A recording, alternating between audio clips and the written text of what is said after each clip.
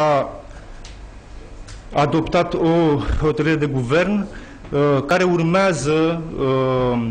unei analize pe care Departamentul pentru Situații de Urgență și Ministerul Afacerilor Interne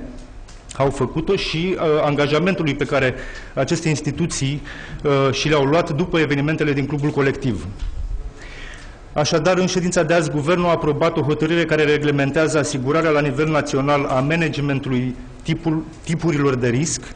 uh, pentru prevenirea și gestionarea situațiilor de urgență. Noile reglementări uh, au, au avut în vedere și concluziile raportului Corpului de Control al primului ministru, realizat după incendiul din clubul colectiv din 30 octombrie 2015, precum și concluziile analizelor, autoanalizelor realizate de Ministerul Afacerilor Interne și uh, Departamentul pentru Situații de Urgență.